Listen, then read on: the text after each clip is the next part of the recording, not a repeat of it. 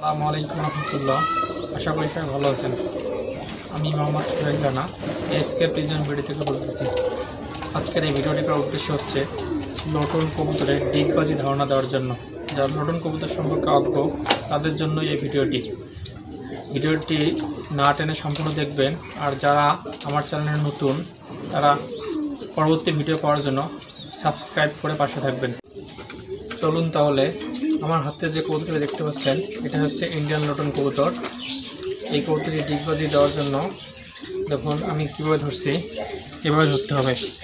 দেখুন, আমি সম্পূর্ণ ভিডিওটি দেখাচ্ছি, এভাবে ধরতে হবে এবং সামনের দিকে টেনে এভাবে নাড়াতে হবে, নেড়ে ছেড়ে দিতে হবে।